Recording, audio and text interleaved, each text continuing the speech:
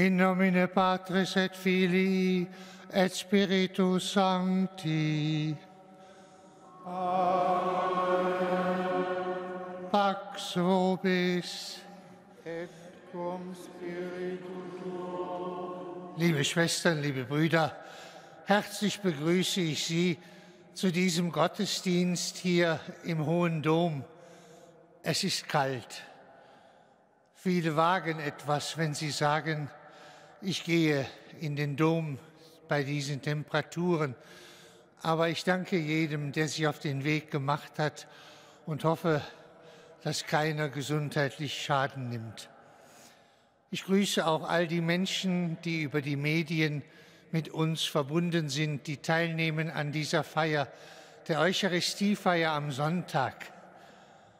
Das ist so etwas, was man die Säule unseres Glaubens nennt. Wir gehen durch die Woche und wir freuen uns auf den neuen Anfang mit Christus am ersten Tag der Woche. Weihnachten kommt immer so schnell, sagte gestern eine Frau zu mir. Und wir schmunzelten beide, weil so ein Fest, das weiß jeder, wann es dran ist. Und doch geht manchmal alles so schnell. So geht es aber auch uns mit den Tagen, in denen wir miteinander leben und wenn wir auf den Sonntag zugehen, Herr, mach mich neu. Lass mich das tiefe Geheimnis unseres Glaubens tiefer begreifen. Du hast uns gewollt. Wir wollen dieses Amt wie immer einmal im Monat in wichtigen Teilen in der alten Sprache der Kirche feiern und so das Erbarmen Gottes erbitten.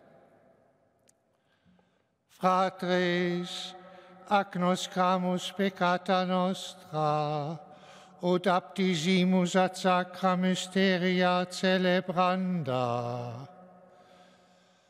Confitio Deo omnipotenti, et vobis fratres, quia peccavi nimis, cogitatione, verbo, opere et omissione. Mea culpa, mea culpa, mea maxima culpa. Ideo preco beata Mariam semper virginem, omnes angelos et sanctus, et vos fratres, orare pro mea Dominum Deum nostrum. Misereator nostri omnipotens Deus, et dimissis peccatis nostris, perducat nos ad vitam aeternam. Amen.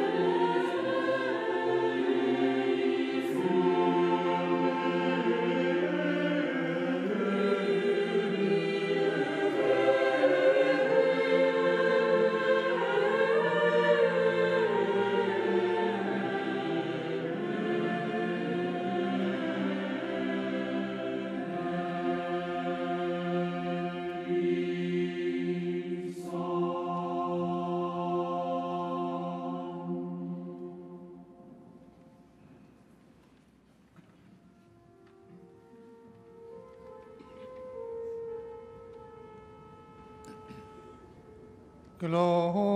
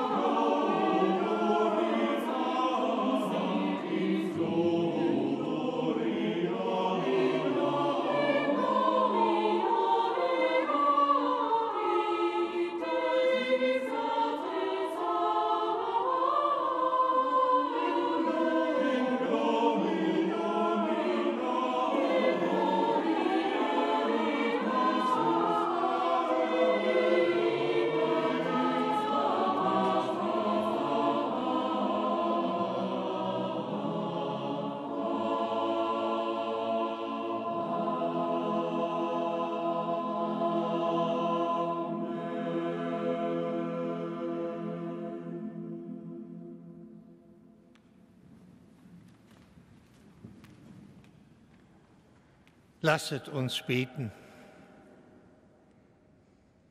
Allmächtiger, ewiger Gott, lenke unser Tun nach deinem Willen und gib, dass wir im Namen deines geliebten Sohnes reich werden an guten Werken.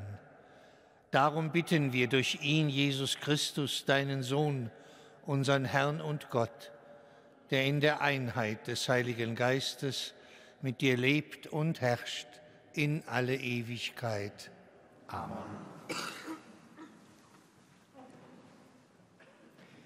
Lesung aus dem ersten Brief des Apostels Paulus an die Korinther.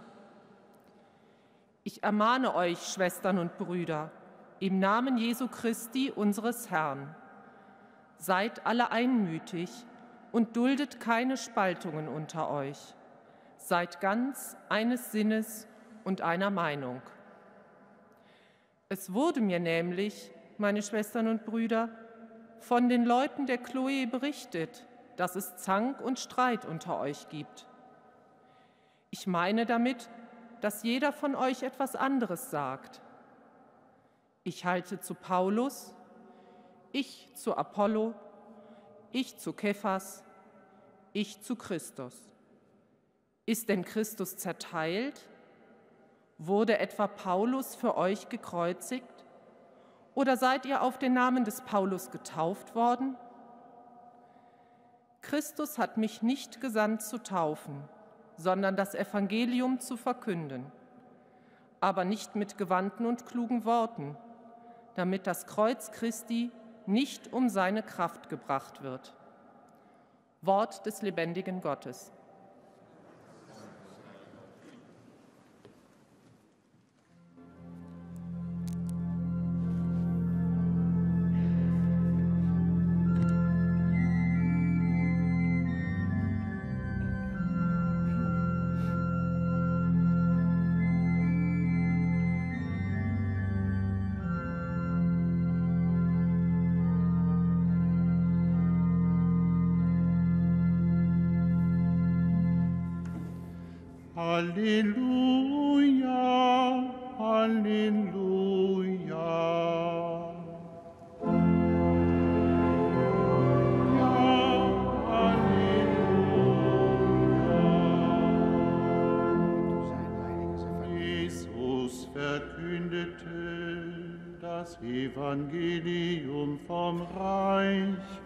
und heiligte Volk alle Krankheiten und Leiden.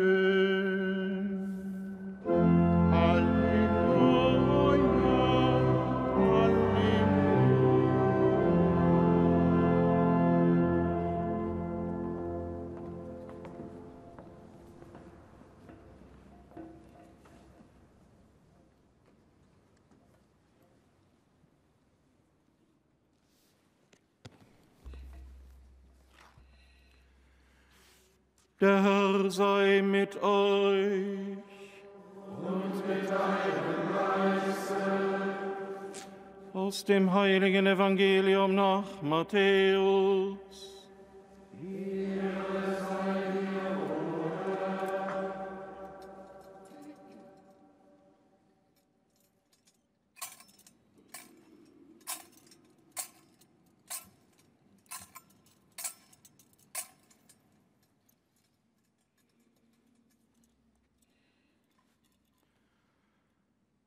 Als Jesus hörte, dass man Johannes ins Gefängnis geworfen hatte, zog er sich von Galiläa zurück.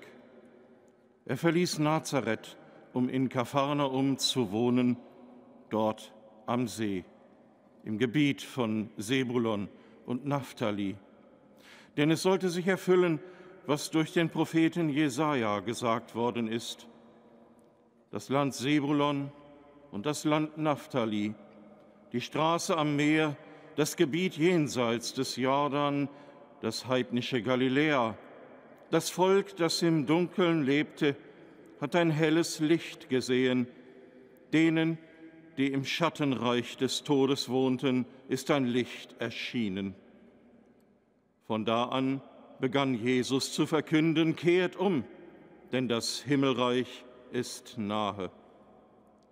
Als Jesus am See von Galiläa entlang ging, sah er zwei Brüder, Simon genannt Petrus und seinen Bruder Andreas. Sie warfen gerade ihre Netze in den See, denn sie waren Fischer. Da sagte er zu ihnen, Kommt her, folgt mir nach, ich werde euch zu Menschenfischern machen. Sofort ließen sie ihre Netze liegen und folgten ihm nach.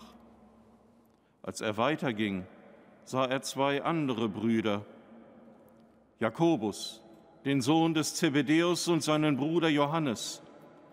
Sie waren mit ihrem Vater Zebedäus im Boot und richteten ihre Netze her.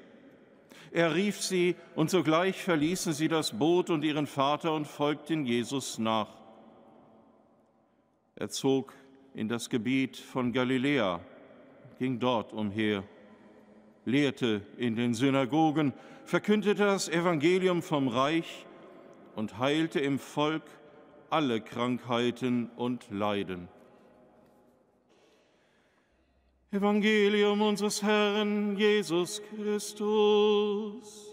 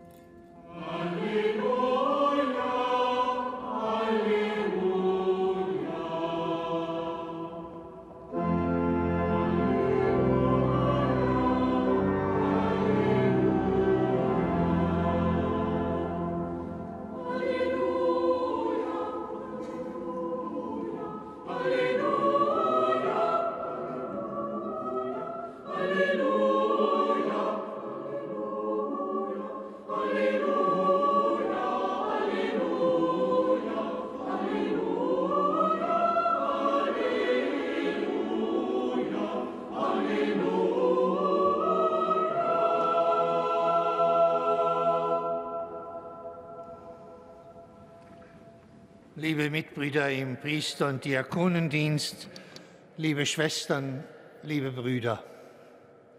Viele von uns haben vermutlich mit besonderer Aufmerksamkeit die Worte aus der Lesung des ersten Korintherbriefes eben gehört. Die Kirche von Korinth ist bedroht. Ihre Einheit ist in Gefahr. Die Gemeinschaft des Glaubens und der Liebe steht auf dem Spiel. Es dürfte keinem von uns allzu schwer fallen, sich in Gedanken einmal auszumalen, mit welchem Erschrecken Paulus von diesen Zuständen gehört hat.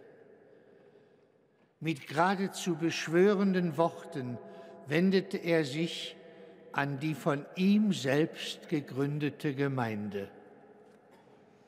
In Korinth gibt es Gruppen, die halten zu ihm, dem Apostel. Andere berufen sich auf einen Kephas. Wieder andere schwören auf einen uns sonst näher nicht bekannten leitenden Mann der Gemeinde mit dem Namen Apollos. Und schließlich sind noch andere da, die sich aber nicht um der Einheit willen, sondern aus sektiererischen Gründen auf Christus berufen. Die Gegensätze untereinander sind so groß, dass mit einem Zerfall der Gemeinde zu rechnen ist. Und was tut Paulus? Man könnte sagen, er setzt seine natürliche und seine übernatürliche Kraft ein. Seine natürliche Kraft ist die Gewalt seines Wortes. Seine übernatürliche Kraft ist seine Autorität als Apostel und Kraft dieser Autorität verlangt er im Namen Jesu Christi Last ab von diesen Spaltungen. Und er bedient sich dazu zweier gewichtiger Argumente. Sein wichtigstes, er fragt, ist denn Christus zerteilt? Jede christliche Gemeinde ist, so wie die Gesamtkirche, ein Abbild Christi. Wir sind der Leib Christi. Und wer Christi Gemeinde spaltet, der zerreißt Christus selbst. Das zweite Argument ist ebenfalls von Bedeutung. Paulus holt die umstrittenen Führungsgestalten, darunter auch sich selbst, von den viel zu hohen Postamenten herunter, auf die ihre Anhänger sie gesetzt haben. Er fragt, ist denn Paulus für euch gekreuzigt worden? Seid ihr etwa auf seinen Namen getauft worden? Damit macht der Apostel das alles Entscheidende deutlich. Es geht immer um den Erlöser. Es geht immer um Christus und nicht um einen der Männer, die er beauftragt hat, so hoch sie auch im Ansehen stehen mögen. Die Einheit der korinthischen Gemeinde konnte durch den persönlichen Einsatz des Paulus gerettet werden. Aber der Bericht, den wir in der Heiligen Schrift in einem seiner Briefe darüber lesen, hat an Aktualität zu keiner Zeit der Kirchengeschichte an Bedeutung verloren. Vielleicht hätten vor 30, 40 Jahren viele von uns diesen Text nur noch historisch wahrgenommen. Ach, so war das damals. Muss ja schlimm gewesen sein. Inzwischen jedoch heißt es schon, Eulen nach Athen tragen, um das Sprichwort zu zitieren, wenn man erwähnt, dass die Einheit der Kirche auch in unseren Tagen gefährdet ist. Niemand soll den Teufel an die Wand malen, wie man im Sprichwort sagt, erst recht nicht in der Kirche. Aber die Spaltungen und Spannungen in Fragen des Glaubens, in Fragen des Gottesdienstes und nicht zuletzt auch in den Fragen der christlichen Moral, den Fragen nach dem richtigen Leben, nach den Geboten Gottes, sind niemals unwichtige Randfragen, die man übersehen darf. Niemand kann sich mit leichter Hand davon trennen. Die Frage, die der Korintherbrief heute an uns richtet, ist genau die, wie wir in der Kirche von heute verhindern können, dass aus Spannungen Spaltungen werden. Wie können wir lernen, Spannungen auszuhalten? Manchmal jahrelang auszuhalten. Wie können wir lernen, für die zu beten, mit denen wir im Meinungsstreit liegen über Fragen des Glaubens? Wie halten wir es aus, die Einheit zu wahren? Die Einheit im Glauben kann im Leben der Kirche durch gar nichts aufgewogen werden, weil die Wahrheit immer auch die Einheit birgt. Zugleich ist aber auch wahr, dass es eine Vielfalt in der Theologie immer geben wird und auch immer gegeben hat. Stillstand ist Rückschritt.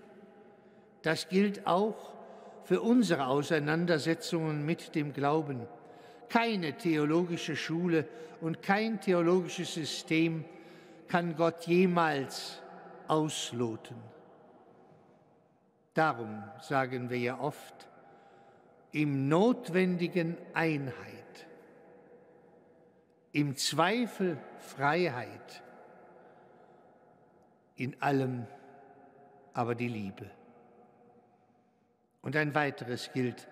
Es gibt in der Entfaltung des Glaubens kein Zurück hinter den Glauben der Apostel, kein Zurück hinter den Glauben, den die Heilige Schrift uns bezeugt, besonders des Neuen Testamentes, kein Zurück hinter das, was die Gemeinschaft der Christen als von Gott geoffenbarte Wahrheit erkannt haben.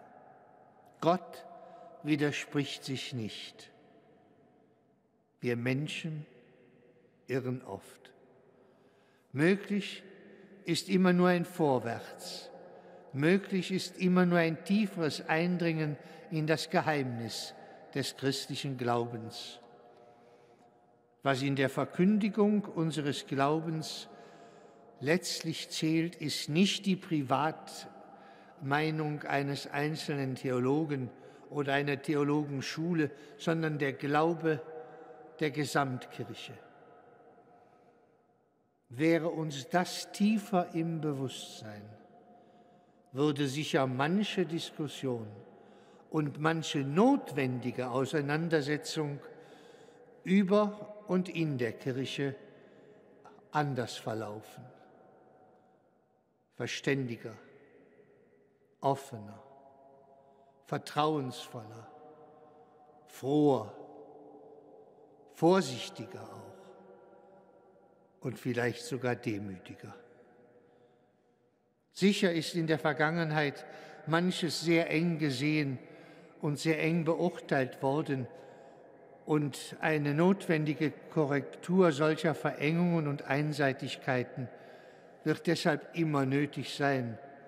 Aber es gibt auch eine Lachsheit im Umgang mit unserem Glauben, mit den offenbarten Wahrheiten, die den Glauben in unseren Herzen langsam sterben lassen. Korrektur ja. Korrektur bedeutet aber nicht, dass heute alles anders werde. Auch heute bleibt Lüge Lüge und Mord bleibt Mord und Treulosigkeit bleibt Treulosigkeit. Daran können wir nicht vorbeisehen.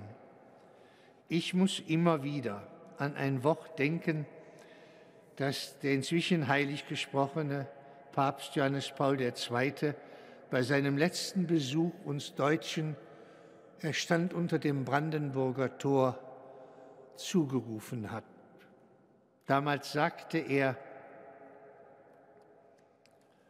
haltet nichts für wahr, was ohne Liebe ist,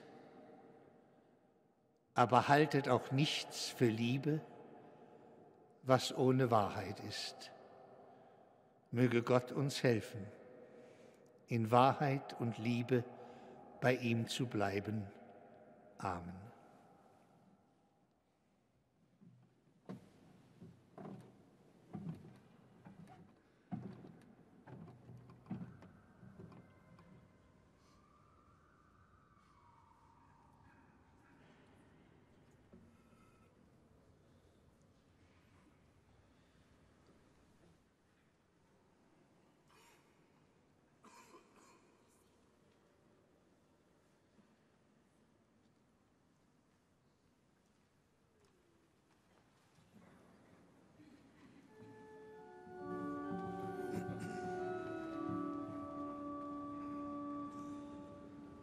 Credo in unum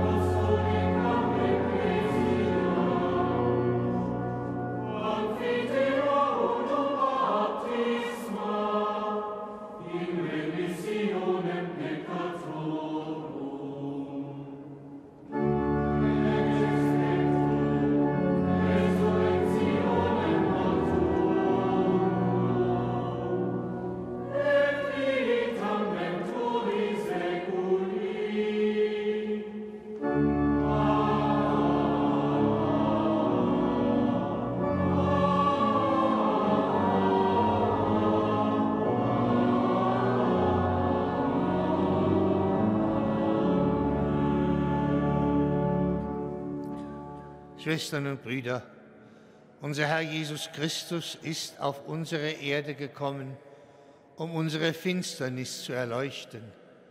Durch ihn rufen wir zu Gott, unserem Vater. Für die getrennte Christenheit, um das Geschenk der Einheit und die Gabe, dich glaubwürdig vor der Welt zu bezeugen. Gott, unser Vater, wir bitten dich, erhöre uns. Für unsere Gemeinden und Gemeinschaften im Erzbistum Köln, um die Bereitschaft, immer wieder das Leben am Evangelium auszurichten und neu anzufangen. Gott, unser Vater. Wir bitten dich, erhöre uns. Für die Regierenden im Bund und in den Ländern unserer Republik, um die Gabe der Weisheit und der Klugheit bei ihren Entscheidungen. Gott, unser Vater. Wir bitten dich, erhöre uns.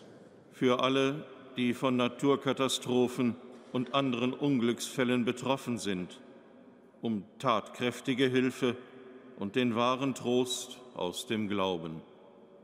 Gott, unser Vater. Wir bitten dich, erhöre uns. Für alle Sterbenden und unsere Toten, um das Geschenk der Vollendung bei dir und die Glückseligkeit, dich zu schauen. Gott, unser Vater. Wir bitten dich, erhöre uns. Wir danken dir, Vater, dass du in deinem Sohn in unsere Welt dein Licht hast aufleuchten lassen. Erhöre unsere Bitten durch ihn, Christus, unseren Herrn. Amen.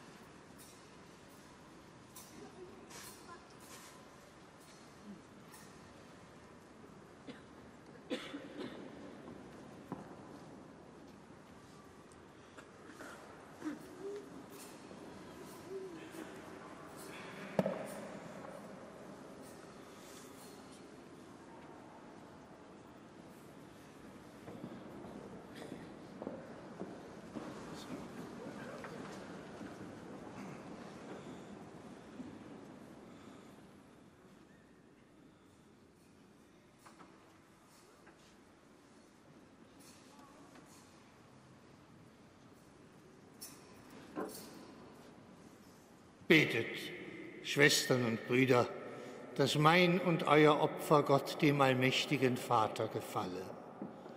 Der Herr nehme das Opfer an aus deinen Händen, zum Lob und Ruhme seines Namens, zum Segen für uns und seine ganze heilige Kirche.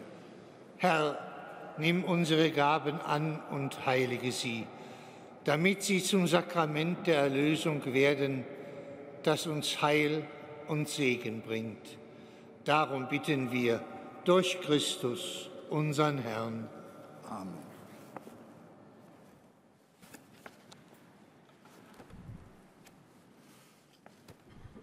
Dominus vobiscum. Et cum spiritu tuo. Sosum cauda. Habemus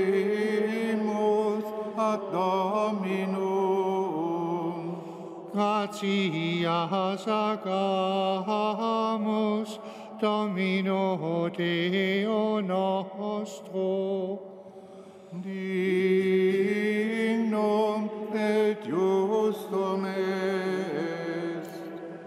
Vere dignum et justum est ecum et salutare. Nos tibi semper et ubique gratias agere. Domine Sancte Pater, omnipotens aeterna Deus, per Christum Dominum nostrum. Ipse enim nascendu vetustatem hominum renovavit, patiendo delevit nostra peccata. Eterne vite aditum prestitis a mortuis resurgendo, ad te patrem ascendendo, celestes januas reseravit, et ideo, cum angelorum atque sanctorum toba, hymnum laudis tibi canimus, sine fine dicentis.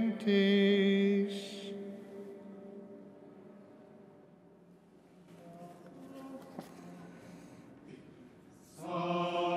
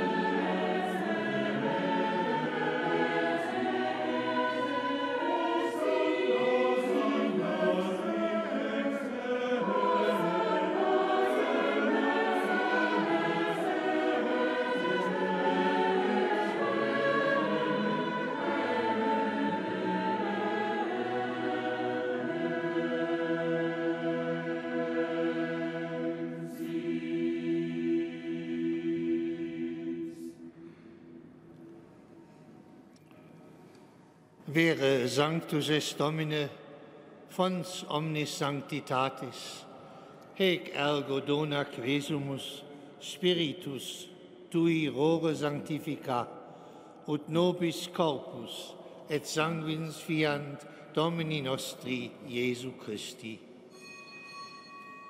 Qui compassioni voluntarie traderitur, accepit panem et gratias agens fregit, deditque discipuli suis dicens, accipite, et manducate ex hoc omnes, hoc est enim corpus meum, quod pro vobis traditur.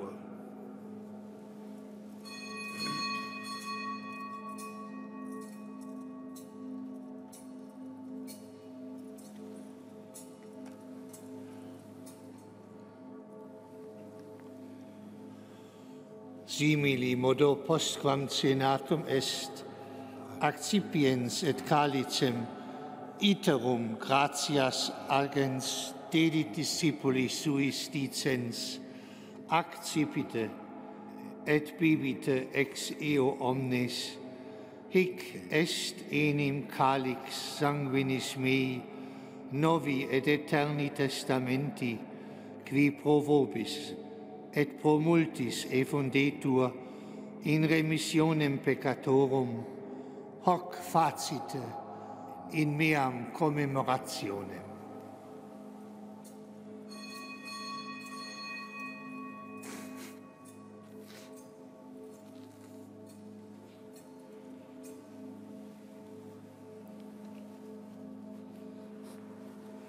Mysterium Fidei. Mortem tuam annunciamus Domine, et tuam resurrectionem confitemur, donec venias. Memoris igitur mortis et resurrectionis eius, tibi Domine panem vitae, et calicem salutis offerimus, gratias agentes quia nos dignos habuisti, a stare coram te et tibi ministrare. Et supplices te precamur, ut corporis et sanguinis Christi participes a Spiritu Sancto congregemur in unum. Recordare Domine Ecclesiae Tue toto orbe diffuse, ut eam in caritate perficias, una cum Papa nostro Francisco et Episcopo nostro Rainer et universo clero. Memento etiam fratrum nostrorum qui in spe resurrectionis dormierunt, omniumque in tua miseratione defunctorum et eos in lumen vultus tui admitte.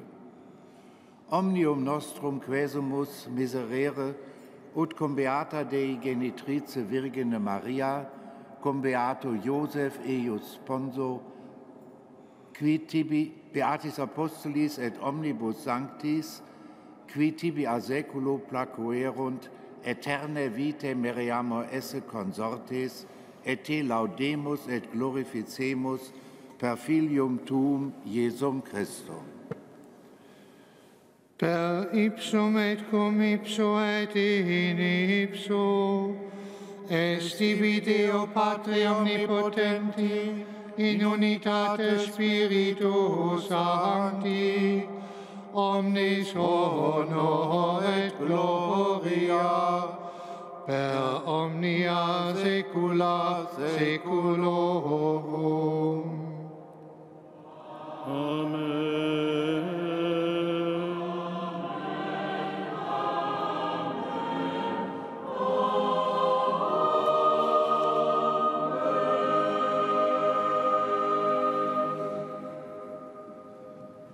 Receptis salutaribus moniti, et divina institutione formati, audemus dicere.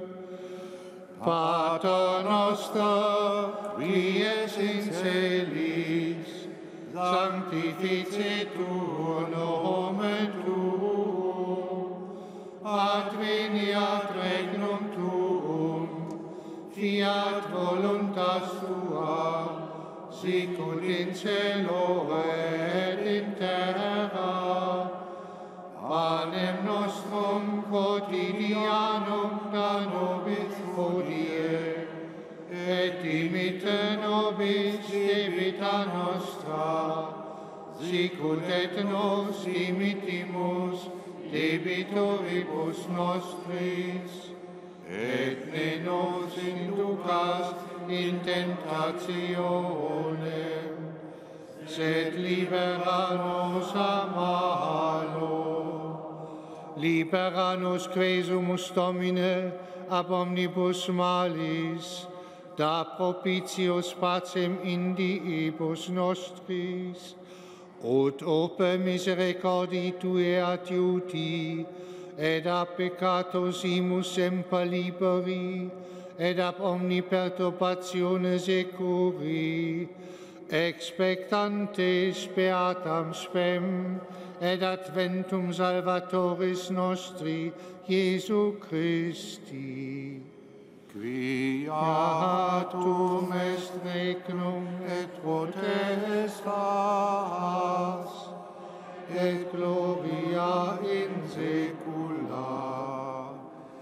Domini Jesu Christi, quid existi apostolis tuis, pacem velinco vobis, pace meam do vobis. Ne respicias peccata nostra, sed fidem ecclesiae tue, e amque secundum voluntatem tuam pacificare et coadunare digneris, qui vivis et reginas in saecula saeculorum. Pax Domini sit semper vobiscum. Et cum spiritu tuo. So gebt einander ein Zeichen des Friedens und der Versöhnung.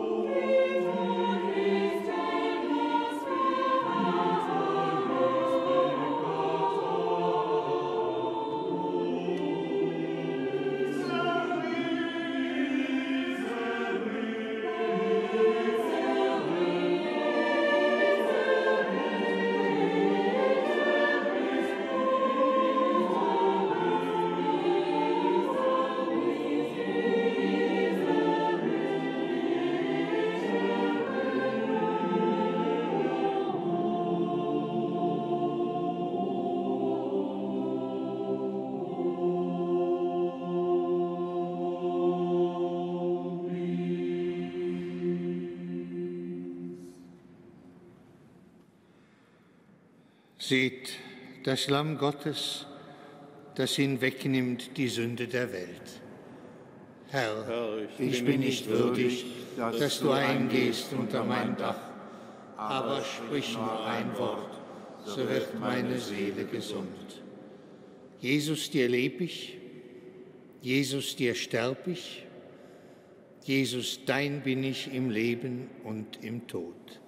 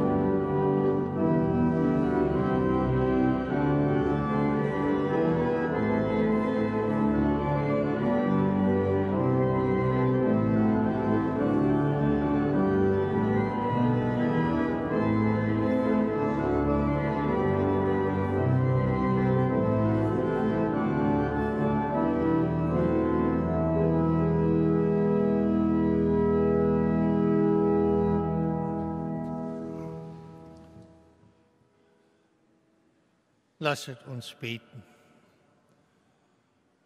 Allmächtiger Gott, in deinem Mahl schenkst du uns göttliches Leben. Gib, dass wir dieses Sakrament immer neu als dein großes Geschenk empfangen und aus seiner Kraft leben. Darum bitten wir durch Christus, unseren Herrn. Amen.